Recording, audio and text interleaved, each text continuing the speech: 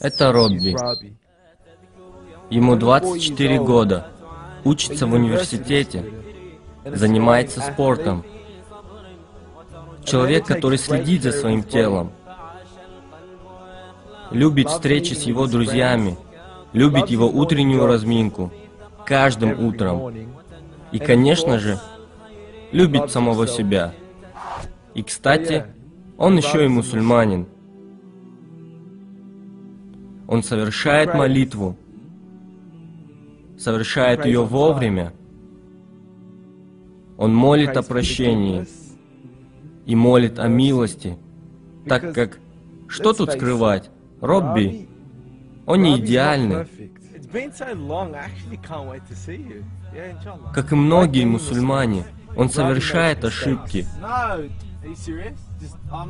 Он говорит и делает те вещи, которые на самом деле не должен совершать.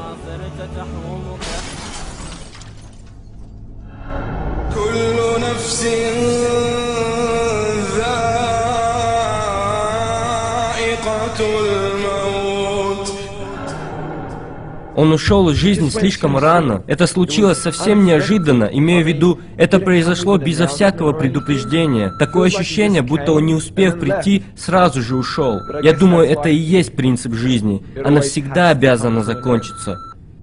Но разве на этом все кончается? Разве все приходит к абсолютному концу, когда ты умираешь? Имея в виду, это конец? Люди говорят, есть только эта земная жизнь. Но ведь реальность совсем другая. То, на чем мы думали, все кончается, на самом деле не является концом. И все, что он сделал, было уже предопределено случиться. Он знает это и мечтает вернуться назад. Он хочет внести некоторые изменения.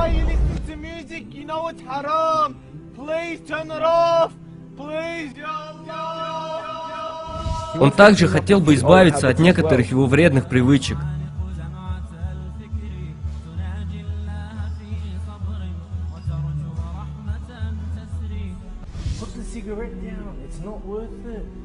Он знает, что будет нести ответственность за то, как обращался со своим телом.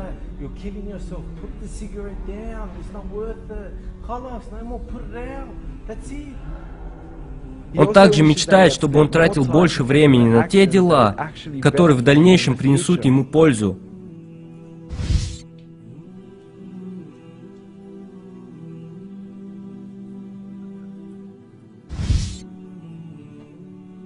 Он мечтал бы, что он проводил больше времени, находясь в поклонении и в молитве.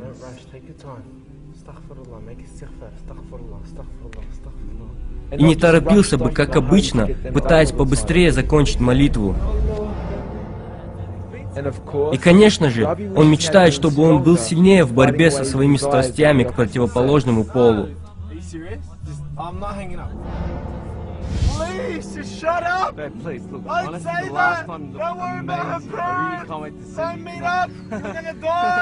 No. Stop being stupid! Don't let yeah, Satan okay. get to you! Look, Fellas, just shut up! Он абсолютно не хотел заканчивать свою жизнь подобным образом. What do you mean married? Don't even worry about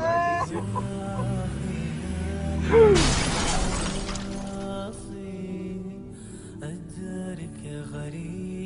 Он не желал уйти из этой жизни, совершая грехи. И только лишь после своей смерти он осознал, что действительно понесет ответственность и будет должен пристать перед Аллахом за каждый разговор, который у него был, за каждую выкуренную им сигарету, за каждую молитву, сделанную в торопях, за каждый момент потрачен на прослушивание музыки. Все это обнаружится.